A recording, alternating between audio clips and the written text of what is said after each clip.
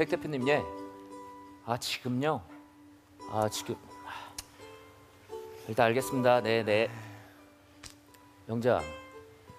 아 나 급하게 가봐야 될 것 같은데 미안하다야. 아, 오빠 왜 맨날 이런 식이야? 이럴 거면 우리 헤어져. 야. 그 대신 헤어지기 전에 백 대표님한테 받은 레시피로 요리 하나 해줄게. 오. 뭐 이런 상황이 다 있어. 어 그러니까요. 갑자기 요리를 하네요. 자 먹어봐. 뭔데요? 오빠 너무 맛있죠? 계속 요리해줄게. 그래. 영지야. 잠시만 잠시만요. 잠깐, 잠시만요. 이게, 뭐예요? 삼단봉 너무 갖고 있지 말라니까. 아니 그게 아니라 원래는 스킨십이 아니, 대본에 그러니까 있는데 대본에- 삼단봉을 쥐고 있으면 잠깐만요.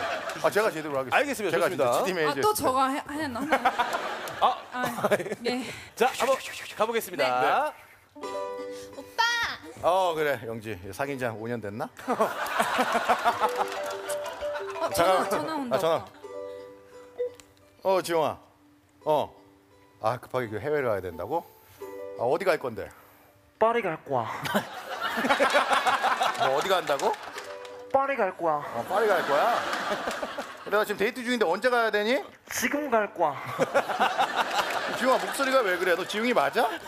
맞을 거야. 아 그래? 아, 미안해. 끊어봐 금방 갈게. 아. 미안하다 지금 지용이가 파리 가야 된다고 해가지고 미안한데 한 달만 혼자 있어.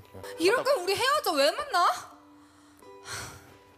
야 그러면 헤어지기 전에 내 지용이한테 받은 곡이 있거든. 그거 너한테 한번 불러주고 그리고 깔끔하게 헤어질게. 음악 주세요. 우리 약속하지 말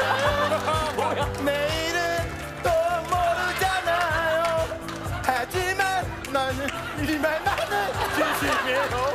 그대 좋아해요. 널 좋아해. 사랑해. 오, 오 뭐야? 오, 오. 영지야 위험해. 오, 오, 오, 오, 오, 오, 오, 오, 오,